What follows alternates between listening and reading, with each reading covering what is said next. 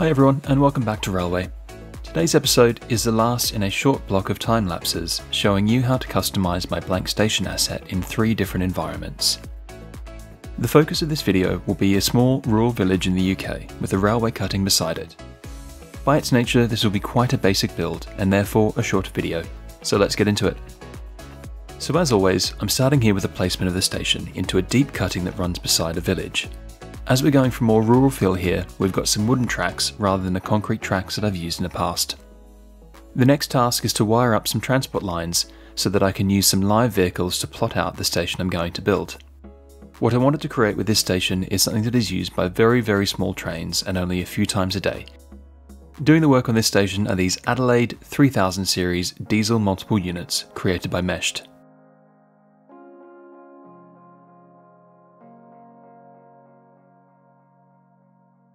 Once I can see where the two and three car vehicles will stop, I can use the ruler prop to mark the position and scale everything around that accordingly.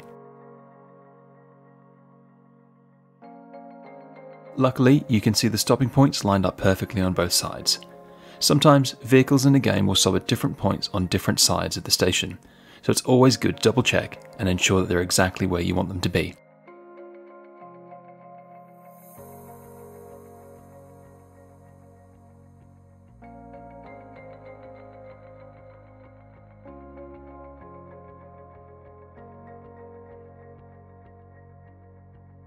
I'm using the same technique as in past videos to use the stopped vehicle to line up the platforms to make sure that they're flush with the edge of the door. This station is not going to be particularly flashy, which honestly reflects the nature of the environment around it. The village beside it may have been important in the past, or this station could have been at the junction of two lines which necessitated the stop, but now it's pretty run down and only sees a handful of passengers per day. It will be pretty bereft of bells and whistles.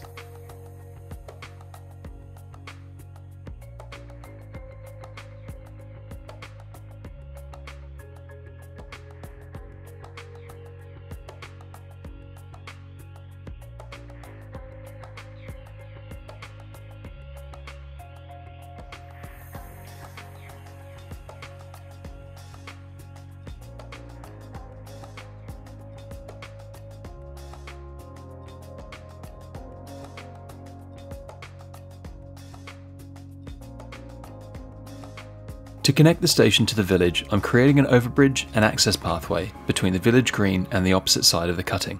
I'm using the same trick of anchoring the pedestrian path to the ground rather than snapping it onto the road. This is one of the benefits of pedestrian pathways. You can be a bit more flexible as the game will be a bit more forgiving. If two pathways are within 8 metres or one zoning square, Sims will happily plot a path between them.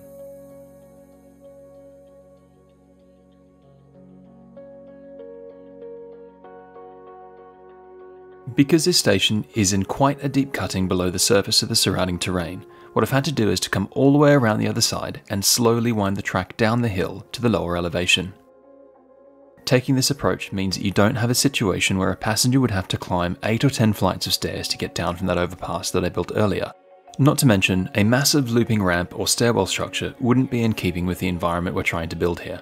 If you also consider what I keep saying about the importance of access, you don't want too steep a pathway or too many stairs because if it is a massive effort to get up from or down to the station, people in the real world would tend not to use it.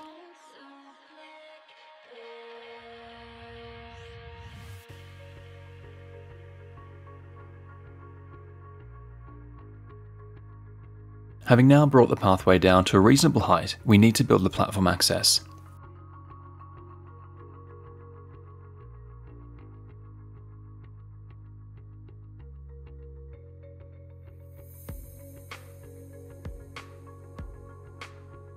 As it's a basic station, all I'm adding here are simple ramps. And to create a landing of sorts, I've added an extra node to the segment and used node control to flatten it.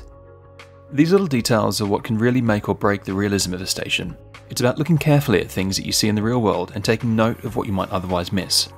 Landings like you'd have on stairs exist almost as often on ramps as well.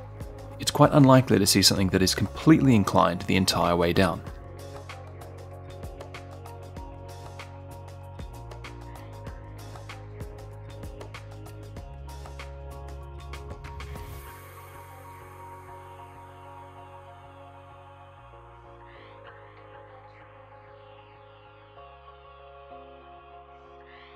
To tidy up the edges of the platforms, I'm adding some wrought iron fencing that I've weathered slightly by using prop painter or procedural objects to recolour. This is so they look a little bit older and perhaps haven't been cared for as well, given they're out in the elements and would have been stained by the rain over time.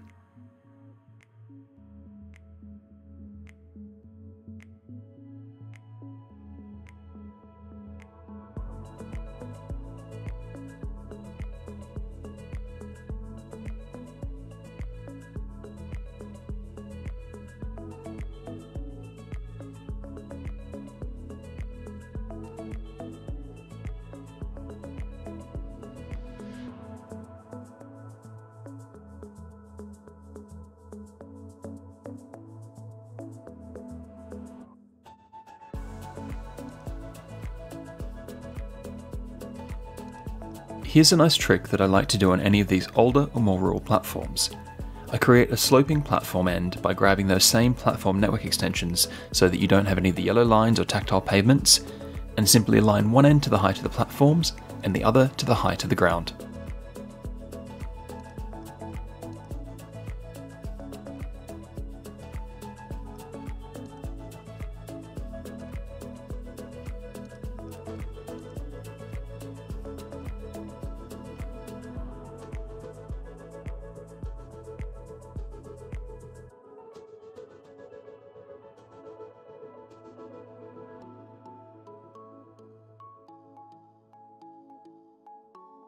Having made the decision to use diesel trains, I'm replacing all of the track containing catenary supports with unwired track.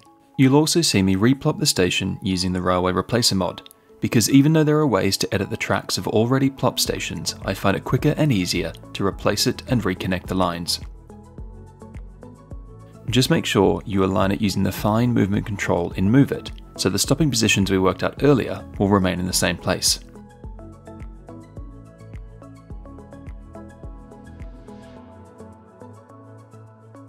Here in the UK, you get these odd things at the end of platforms called anti-trespass panels, which are kind of like a square of rubberized spikes to provide a visual and physical barrier, deterring people from roaming off the end of the platform.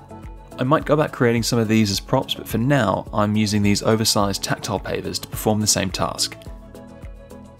Another benefit of PO here is being able to control which network I'd like the decal to apply to.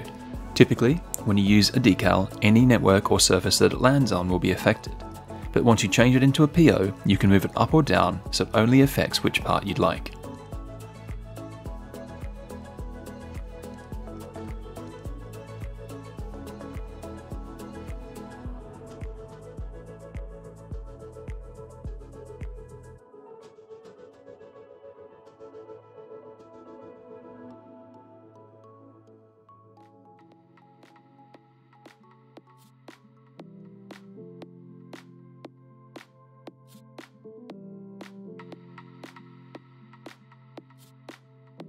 Finally, it's onto the key details of the platform lighting, shelters, signage, etc. I'm using older gas style lamps for platform lighting, as when you consider the age of this station and that it won't have been particularly modernised over time, you're unlikely to see anything more modern than these. The same goes for station signage. An older style sign with an older style typeface will really cement the fact that this is a relic of an older period of time and a bit of a time capsule. I've chosen Haberfield as a name. Really, this is just a portmanteau of commonplace names in the UK, Nothing special or meaningful, I'm afraid.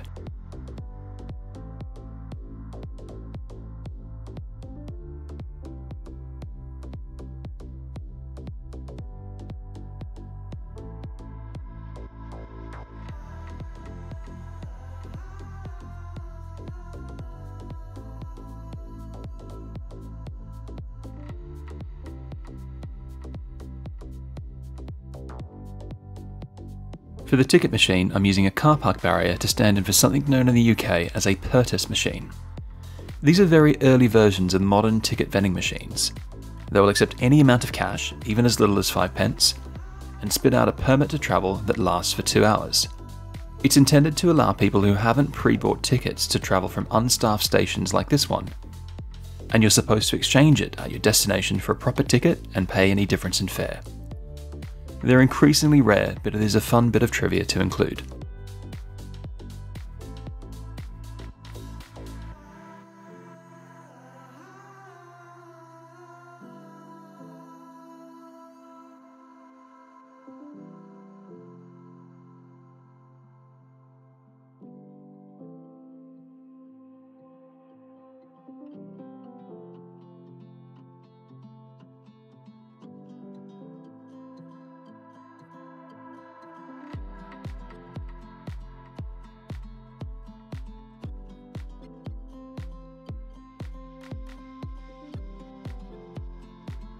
And last but not least, I'm adding some bushes and trees into this little gully area between the platforms and the cutting.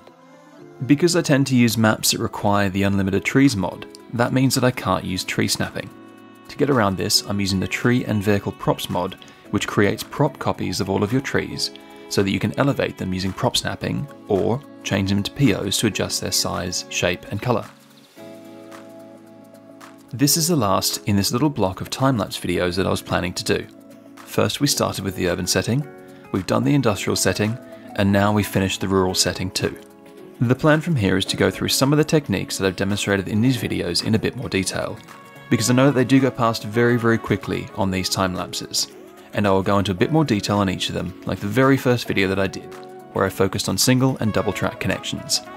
So that's it for now, thanks very much, and I'll see you next time.